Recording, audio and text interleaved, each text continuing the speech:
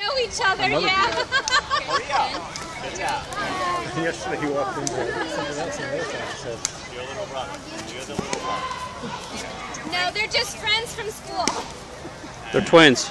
They're really confused. They Did they see each other in the mess and knew who they were They're fighting? asking, he's asking how do they know each other, and Austin's telling him he's his little brother. Choose two hands. He knows his little brother. Okay. Raise dad, you know, thrust, gentle, technique. Identical, but different models. that- Just hit him really, really hard, okay? And you can hit him back. Hey! Come on, Matt. Come on, Austin. Breathe. At the balloons. Hit him, hit him, hit him. All right, breathe. Don't Breathe. Hold your breath. No, no, stop. Back up. You, I'm saying breathe. You're like, okay? I want you to pass Or out, you're too Matt. far up. You got to loosen up. Just swing harder. You're doing great. And attack him. Okay? You got him. Go! Go for the balloon.